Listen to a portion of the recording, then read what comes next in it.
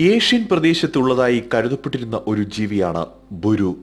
ഒരുപക്ഷേ ഈ വീഡിയോ കാണുന്ന നിങ്ങളിൽ തൊണ്ണൂറ് ശതമാനം പേരും ബുരു എന്നൊരു ജീവിയെക്കുറിച്ച് കേട്ടിട്ട് പോലും ഉണ്ടാകില്ല. വെള്ളത്തിനടിയിൽ ജീവിക്കുന്ന ഒരു നാൽക്കാലി എന്ന് തന്നെ പറയാം. പക്ഷെ പതിനഞ്ചടിയോളം നീളമുള്ള ഒരു ഭീമാകാരനായ ജീവി തന്നെയായിരുന്നു ഇത്. സസ്യഭോജിയായിരുന്നു ഈ ജീവി എന്നാണ് കരുതപ്പെടുന്നത്. എന്നാൽ ആക്രമിക്കുമ്പോൾ ഇവ അപകടകാരിയായി മാറുമെന്നും പറയപ്പെടുന്നു. ദൗർഭാഗ്യവശാൽ ഈ ജീവിയെക്കുറിച്ച് കൂടുതൽ വിവരങ്ങളൊന്നും ലഭ്യമല്ല എന്ന് തന്നെ പറയാം. പണ്ട് ഭൂമിയിൽ ധാരാളമായിട്ടുണ്ടായിരുന്ന ഒരു ജീവിയാണ് ബുരു.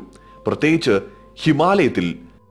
ഹിമാലയത്തിന്റെ താഴ്വരയിലുള്ള ആളുകളിൽ നിന്നാണ് ഇതിനെക്കുറിച്ചുള്ള വിവരങ്ങൾ ഗവേഷകർക്ക് കണ്ടെത്താൻ സാധിച്ചത്.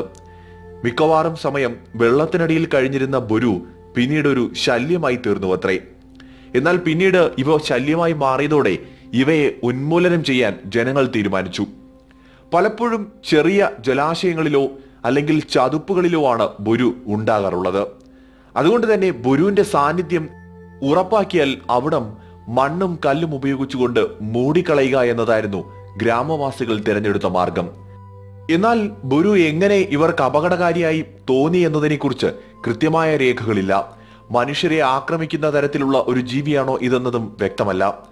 എന്നാൽ ഒറ്റനോട്ടത്തിൽ കണ്ടാൽ ആരും ഭയന്നു പോകുന്ന ഒരു രൂപം തന്നെയായിരുന്നു ഇവയ്ക്കുണ്ടായിരുന്നത്. മാത്രമല്ല പതിനഞ്ചടിയോളം നീളമെന്ന് പറയുമ്പോൾ സാമാന്യം നല്ല വലിപ്പമുള്ള ഒരു ജീവിയാണ്. അതുകൊണ്ട് തന്നെ സാധാരണ നിലയിൽ ഇവയെ കണ്ടാൽ തന്നെ മനുഷ്യൻ ഭയന്നു പോകും. ഒരുപക്ഷെ മനുഷ്യന്റെ ഈ ഭയം തന്നെയായിരിക്കാം ഇവയെ ഉന്മൂലനം ചെയ്യാൻ പ്രേരിപ്പിച്ചത്. ഗുരു വംശനാശം വന്നു എന്ന് തന്നെയാണ് ശാസ്ത്രലോകം പറയുന്നത്.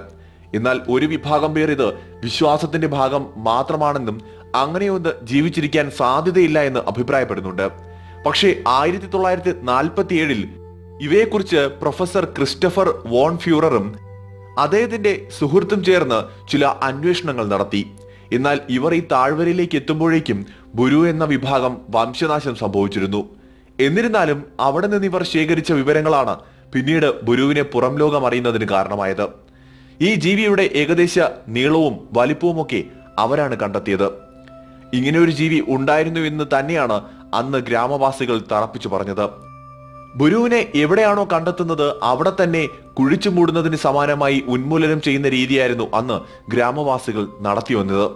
അവസാനമായി ഒരു ബുരു യുവതിയാണ് ഒരു രാത്രി നീരുറവയിൽ വെള്ളമെടുക്കാനായി പോകുന്ന സമയത്ത് ഇതിനെ കണ്ടത്. പരിഭ്രാന്തിയായ യുവതി സംഭവത്തെക്കുറിച്ച് തന്റെ പിതാവിനോട് പറഞ്ഞുവെന്നും പിറ്റേ ദിവസം തന്നെ ഗ്രാമം മുഴുവൻ കല്ലും കളിമണ്ണും ഒക്കെ കൊണ്ട് നീരുറവ മൂടിക്കളഞ്ഞു എന്നുമാണ് പറയപ്പെടുന്നത്. അരുണാചൽ പ്രദേശിന്റെ ഉൾപ്പെടെ ഭാഗങ്ങളിൽ ഗുരുവിനെ കണ്ടതായി അവകാശപ്പെടുന്ന ധാരാളം പേരുണ്ടായിരുന്നു. എന്നാൽ ഇപ്പോൾ ഈ ജീവി അവശേഷിക്കുന്നു എന്ന കാര്യം വളരെ സംശയമാണ്. വംശനാശം വന്നിരിക്കാം എന്ന് തന്നെയാണ് കരുതപ്പെടുന്നത്.